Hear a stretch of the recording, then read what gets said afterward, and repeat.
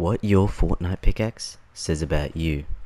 Now, just before the video starts, could you please use code BW in the Fortnite item shop? It would help out a ton, and yeah, enjoy the video. Okay, so if you wear the driver pickaxe, you like golf, or you are absolutely, morbidly addicted to Fortnite and you're a sweat. If you wear the crowbar, well, you're at peak rank right now, which is elite. I need the max win. Because you can't get out because you're so unbelievably ass at the game. The last pickaxe will shock you. Alright, if you rock Labobo's pickaxe, your name is Bo. How do I know this? Well, if Leon's combat knife is your pickaxe, you were waiting for the original combat knife to come out, and this one came out instead, so you just bought it. If you use J Balvin's pickaxe, you're gay. How do I know? Look closely.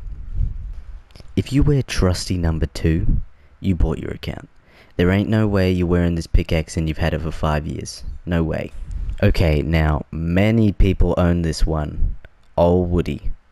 You are definitely above 18 and are in love with Marvel movies. If you wear the Love Horn pickaxe, you're frothing out of the mouth when you're playing Fortnite. You're so into it you can't swallow your spit and look like you have rabies. Banana Axe is basically the Travis Scott pickaxe. Right, anyway, if you wear the Travis Scott pickaxe, you like showing off whenever possible.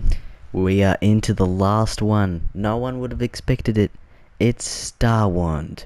If you use Star Wand, you wish you lived in Fortnite and could play all day, every day you also own one of these. Yeah, um, you're an idiot. Anyway, guys, thanks for watching the video. It would be greatly appreciated if you subscribed for part 2 and use code BW in the Fortnite item shop. Thank you.